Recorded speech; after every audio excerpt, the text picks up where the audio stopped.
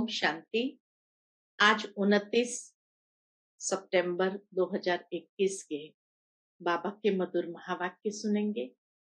मीठे बच्चे, इस अंतिम जन्म में गृहस्थ व्यवहार में रहते कमल फूल समान पवित्र बनो। एक बाप को याद करो, यही गुप्त मेहनत है। प्रश्न है आज की मुरली से ज्ञान का तीसरा नेत्र मिलते ही कौन सा कॉन्ट्रास्ट स्पष्ट अनुभव होता है?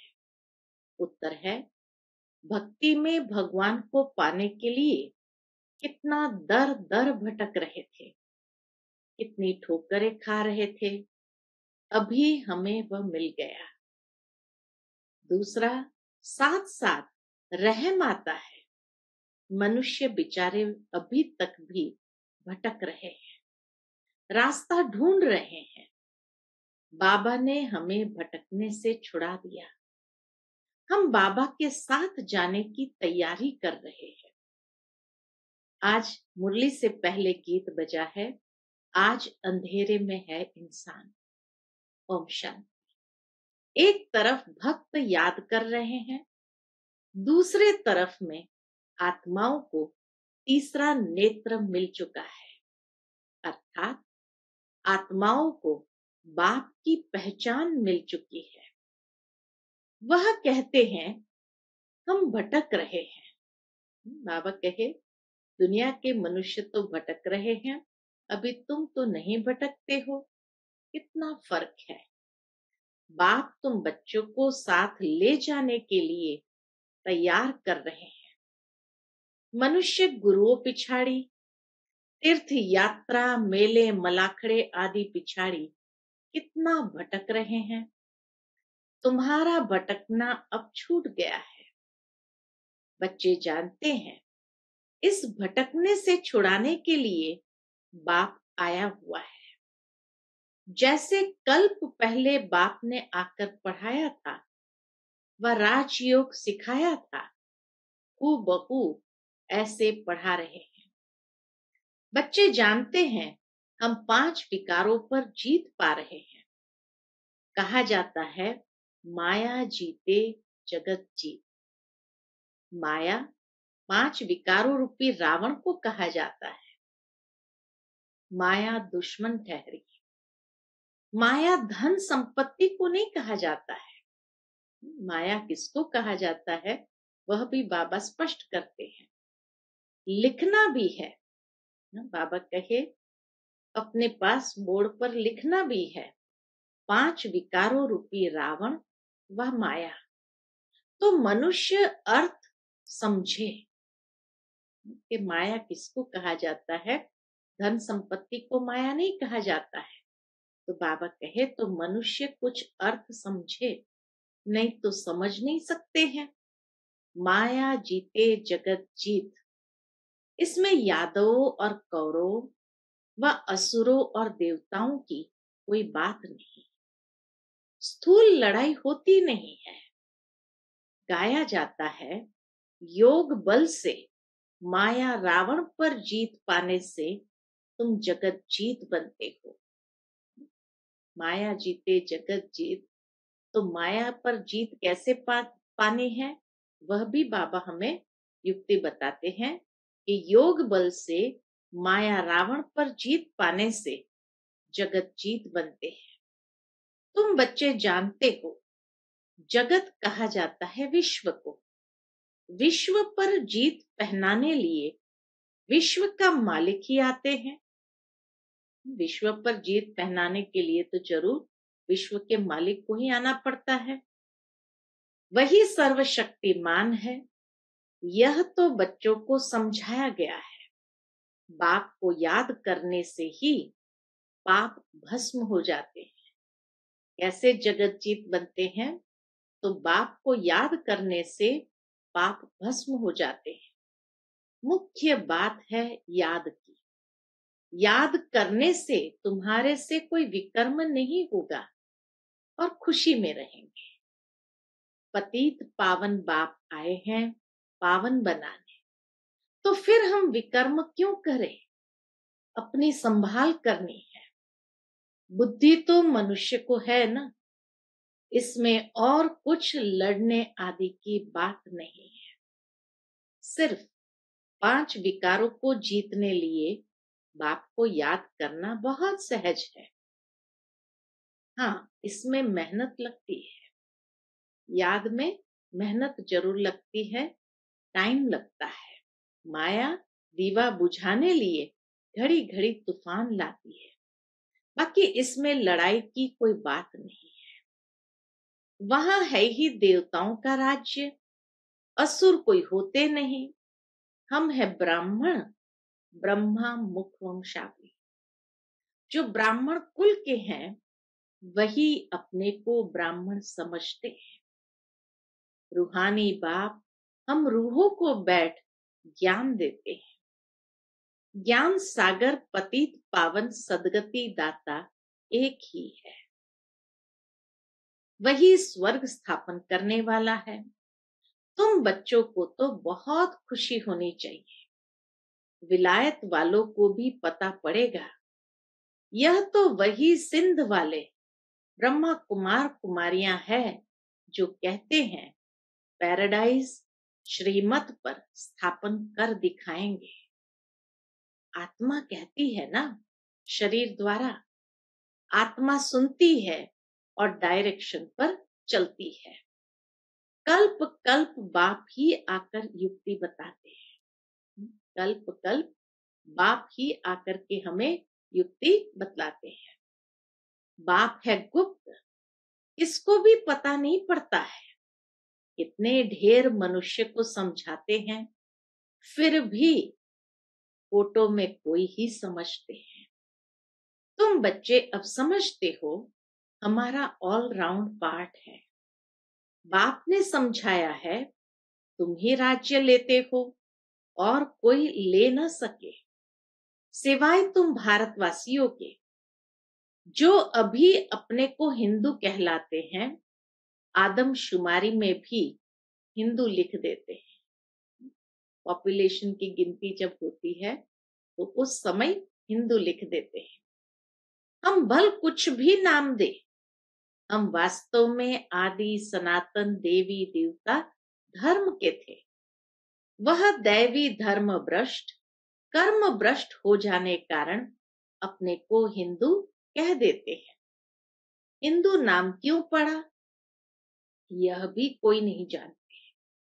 पूछना चाहिए, भला यह तो बताओ, तुम्हारा हिंदू धर्म किसने स्थापन किया? यह तो हिंदुस्तान का नाम है। कोई बता नहीं सकेंगे। तुम बच्चे जानते हो, अब ब्राह्मण देवता क्षेत्रीय धर्म की स्थापना हो रही है। इस समय तीन धर्म की स्थापना होती है, ब्राह्मण, देवता क्षेत्रीय। कहते हैं, ब्राह्मण देवी देवताए नमः। ब्राह्मण है सर्वोत्तम नंबर वन। वास्तव में स्वर्ग सतयुग को कहा जाता है। रामचंद्र के राज्य को भी स्वर्ग नहीं कहा जाता है। त्रेता युग में भी दो कला कम हो गई तो बाबा कहे उन्हें संपूर्ण स्वर्ग नहीं कहा जाता। आधा कल्प है राम राज्य आधा कल्प है, आसुरी राज्य। यह सब दिल में धारण करना है। अभी हमको स्वर्ग में जाने के लिए क्या करना है? पवित्र तो ज़रूर रहना ही है। बाप कहते हैं, बच्चे, काम महाशत्रु है। इन पर जीत पाकर पवित्र रहना है। इसीलिए कमल फूल की निशानी भी दिखाई है। गृहस्थ व्यवहार में रहते कमल फूल समान बनना है। यह दृष्टांत तुम्हारे लिए है। हठ योगी तो गृहस्थ व्यवहार में कमल फूल समान रह न सके। वह अपना निवृत्ति मार्ग का पाठ बजाते हैं। गृहस्थ व्यवहार में रह नहीं सकते, इसीलिए घर बार छोड़ चले जाते हैं। तुम दोनों सन्यास की भेंट कर सकते हो। बेहद का सन्यास और हद के सन्यास, दोनों सन्यास की भेंट बाबा कहे, कर सकते हो। प्रवृत्ति मार्ग में रहने वालों का गायन है। बाप कहते हैं, गृहस्थ व्यवहार में रहते, सिर्फ़ यह एक अंतिम जन्म, हिम्मत कर, कमल फूल समान पवित्र रहो। कितना बाबा जैसे बच्चों को रिक्वेस्ट करते हैं कि गृहस्थ व्यवहार में रहते सिर्फ़ ये एक अंतिम जन्म, हिम्मत कर, कमल फूल समान पवित्र रहो। भल अपने गृहस्थ व्यवहार में रहो। वह सन्यासी तो घर बार छोड़ जाते हैं। ढेर सन्यासी है। जिन्हों को भोजन देना पड़ता है। पहले वह भी सतो प्रधान थे। अभी तमो प्रधान बन गए हैं। यह भी ड्रामा में उनका पार्ट है। फिर भी ऐसे ही होगा। बाप समझाते हैं, इस पतित दुनिया का विनाश तो होना ही है। थोड़ी थोड़ी बात में ही एक दो को धमकी देते रहते हैं। अगर ऐसा नहीं होगा तो बड़ी लड़ाई लग जाएगी। तुम बच्चे समझते हो कल्प पहले भी ऐसे हुआ था। शास्त्र में लिखा है, पेट से मुसल निकले, हा? फिर क्या हुआ? यह हुआ, फिर होली में स्वांग बनाते हैं। वास्तव में है यह मुसल, जिससे विनाश करते हैं। यह भी बच्चे जानते हैं, जो कुछ पास्ट हो चुका है, वह फिर भी होना है। बनी, बनाई, बन रही, अब कुछ बननी नहीं। अभी तुम्हारी बुद्धि में सारा राज है। सिर्फ़ कहने की बात नहीं। इसको भी दोष नहीं दे सकते। बाबा इस ड्रामा के अंदर। परिवर्तन निश्चित है तो उसमें किसी को भी दोष नहीं दे सकते। ड्रामा में पार्ट है। तुमको सिर्फ़ बाप का पैगाम सुनाना है। यह ड्रामा तो अनादि अविनाशी है। भावी क्या चीज़ है? वह भी तुम समझ गए। यह कलयुग अंत और सतयुग आदि का संगम नामी ग्रामी है। इनको ही पुरुषोत्तम युग कहा जाता है। आजकल बच्चों को पुरुषोत्तम युग पर अच्छी रीति समझा रहे हैं। पुरुषोत्तम मास होगा तो इसीलिए बाबा कहे, आजकल बच्चों को कंटिन्यूस कई दिनों की मुरली में ये बात आ रही है कि पुरुषोत्तम युग पर अच्छी रीति समझा रहे हैं। यह युग है उत्तम पुरुष बनने का। सभी सतो प्रधान उत्तम बन जाएँगे। अभी है तमो प्रधान कनिष्ठ। इन अक्षरों को भी तुम समझते हो। कलयुग पूरा हो सतयुग आएगा, फिर जय जयकार हो जाएगी। कलयुग पूरा होगा एक तरफ़, सतयुग की शुरुआत हो जाएगी और चारों ओर जय जयकार हो जाएगा। कहानी सुनाई जाती है ना? क्या कहानी सुनाई जाती है? यह है सहज ते सहज। झूठी कहानियाँ तो बहुत है। अब बाप खुद बैठ समझाते हैं। भक्ति मार्ग में तुम मेरी महिमा गाते आए हो। अब प्रैक्टिकल में तुमको रास्ता बताता हूँ। सुखधाम और शांति धाम का। सदगति को सुख गति, बाबा कहे सदगति को सुख गति, दुर्गति को दुख गति कहेंगे। कलयुग में है दुख, सतयुग में है सुख। समझाने में सब समझेंगे। आगे चल समझते जाएँगे। समय बहुत थोड़ा है, मंजिल बहुत ऊँची है।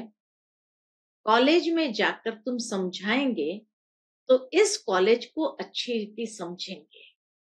बरोबर यह ड्रामा का चक्र फिरता रहता है, और कोई दुनिया नहीं है। वह समझते हैं, ऊपर में कोई दुनिया है। इसीलिए सितारों आदि तरफ़ जाते हैं। वास्तव में वहाँ कुछ है नहीं। ना बाबा की ये भविष्यवाणी उस समय से कि वास्तव में कुछ भी है नहीं। God is one creation is one मनुष्य सृष्टि यही है। मनुष्य मनुष्य ही है। सिर्फ़ देह के अनेक धर्म है। कितनी वैरायटी है। सतयुग में एक ही धर्म था।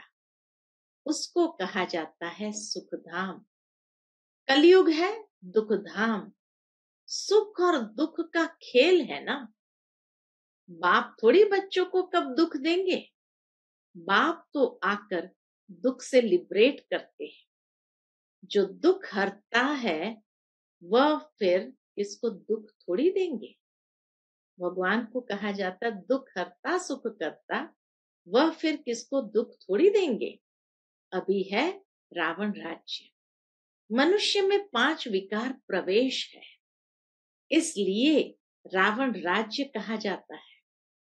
वर्ल्ड की हिस्ट्री ज्योग्राफी का राज अभी तुम बच्चों की बुद्धि में आ गया है। रोज सुनते हो, ये बहुत बड़ी पढ़ाई है। बाबा कहे ये बहुत बड़ी पढ़ाई है। तो बाप समझाते हैं, अभी बाकी थोड़ा समय है। उसमें बाप से पूरा वर्षा लेना है। धीरे धीरे मनुष्य भी समझेंगे। बरोबर, ईश्वर का रास्ता तो यही समझाते हैं। लोग भी समझेंगे क्या ईश्वर को प्राप्त करने का रास्ता यहीं से मिलता है। तो बाबा कहे धीरे धीरे मनुष्य भी समझेंगे, बरोबर ईश्वर का रास्ता तो यही समझाते हैं।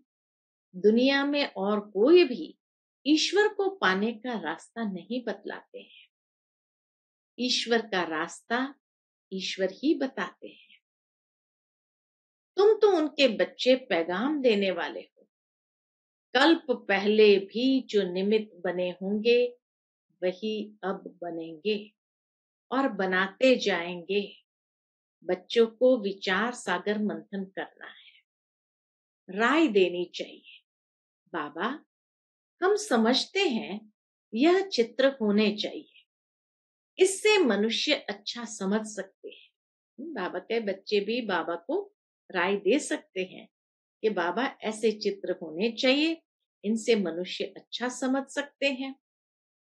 बाबा कम चित्र इसलिए कहते हैं क्योंकि कई सेंटर्स बहुत छोटे छोटे हैं। इसलिए बाबा कहते दो तीन चित्र मुख्य ऐसे हो, जिस पर अच्छी रीति समझा सकते पाँच सात चित्र भी मुश्किल रख सकते हैं। छोटा सा सेंटर होता है, वो नेचुरल है, वहाँ पर इतने सारे चित्र कैसे लगाएँगे? बाबा कहते हैं घर घर में गीता पाठशाला। ऐसे भी बहुत है। एक कमरे में सब कुछ चलाते हैं। मुख्य चित्र रखे हो तो मनुष्य को समझ मिले। आखिर भगवान किसको कहा जाता है? उनसे क्या मिलता है? भगवान को बाबा कहा जाता है, बबुलनाथ बाबा नहीं कहेंगे, रुद्र बाबा नहीं कहेंगे, शिव बाबा नामी ग्रामी है। बाबा कहते हैं, यह वही कल्प पहले वाला ज्ञान यज्ञ है। बेहद के बाप शिव ने यज्ञ रचा है, ब्राह्मणों की रचना की है, ब्रह्मा द्वारा। ब्रह्मा में प्रवेश हो, स्थापना की है। यह है ज्ञान राजयोग का। यह ज्ञान है राजयोग का। और फिर यज्ञ भी है। ये ज्ञान भी है राजयोग का और फिर यज्ञ भी है। जिसमें सारी पुरानी दुनिया की आहुति पड़ती है। एक वही बाप भी है, टीचर भी है, गुरु भी है, ज्ञान सागर भी है। ऐसा और कोई है नहीं। आजकल यज्ञ रचते हैं तो चारों तरफ़ शास्त्र रखते हैं। एक आहुति का कुंड भी बनाते हैं। वास्तव में है यह ज्ञान यज्ञ, जिससे उन्होंने कॉपी की है, ज्ञान यज्ञ से ही उन्होंने वो यज्ञ कुंड बना दिया तो कॉपी की है। यहाँ कोई स्थूल चीज़ आदि तो है नहीं। अभी तुम बच्चों को बेहद का ज्ञान मिला है, और कोई यह जानते नहीं। बेहद की आहुति पड़नी है, यह तुम जानते हो। पुरानी दुनिया खत्म हो जाएगी। यह तो खुशी होती रहती कि राम राज्य स्थापन हो। यह तो बहुत अच्छा है। बाबा कहे राम राज्य स्थापन हो, ये तो बहुत अच्छा है। परंतु वह तो जो स्थापन करेंगे, वह अपने लिए ही करेंगे ना। राम राज्य जो स्थापन करेंगे, वह तो अपने लिए ही करेंगे ना। मेहनत सब अपने लिए करेंगे।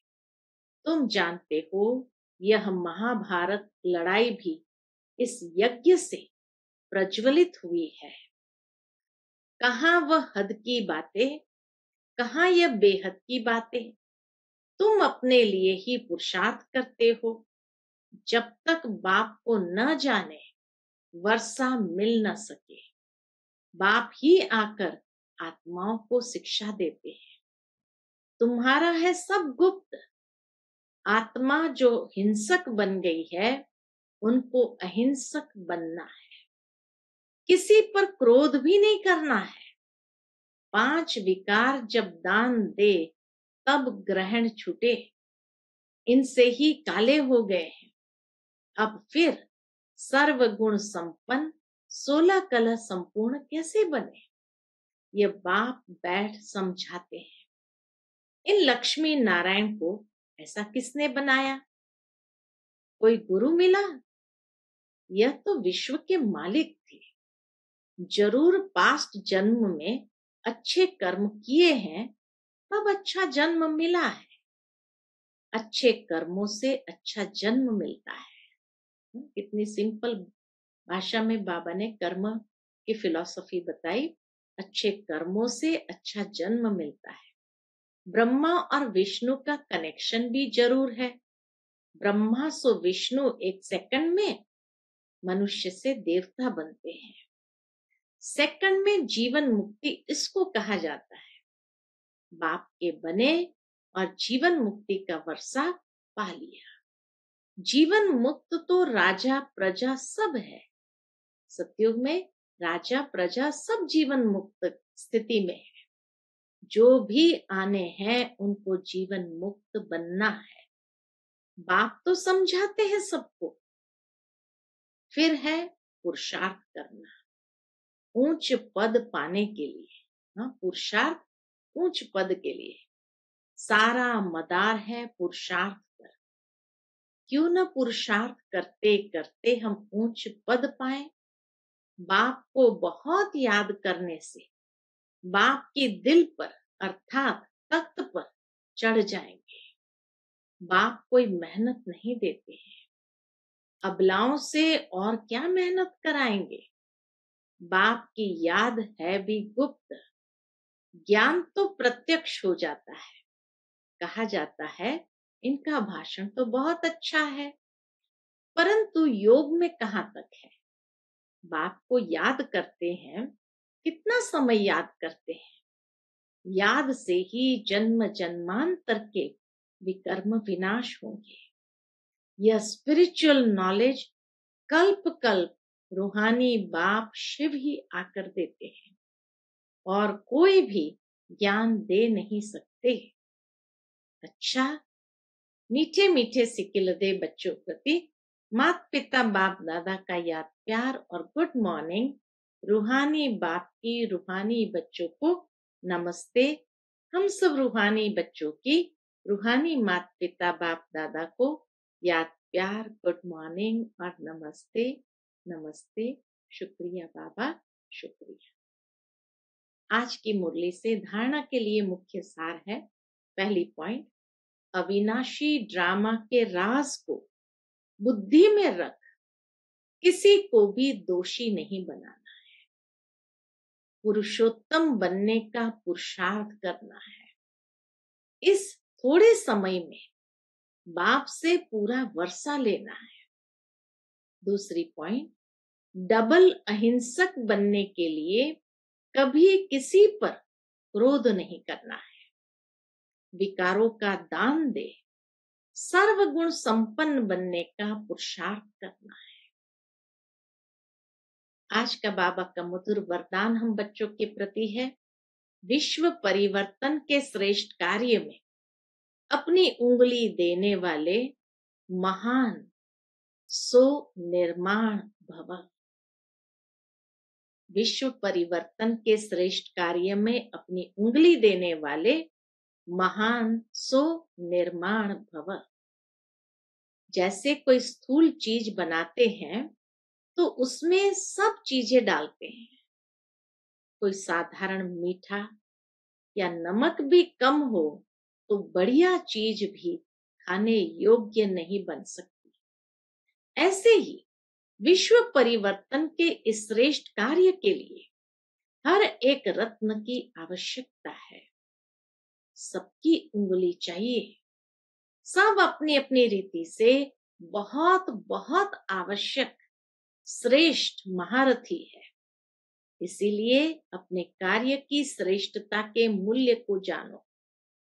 सब महान आत्माएँ हो, लेकिन जितना महान हो उतने निर्माण भी बनो। जितना महान हो, उतने निर्माण भी बनो। आज का स्लोगन है हम बच्चों के प्रति, अपनी नेचर को इजी यानी सरल बनाओ तो सब कार्य इजी हो जाएँगे, यानी सरल हो जाएँगे। अपनी नेचर को इजी सरल बनाओ तो सब कार्य इजी हो जाएँगे। अच्छा ओम। To watch Peace of Mind channel videos on YouTube, subscribe us on youtube.com slash TV Peace of Mind. Just a click for a peaceful life.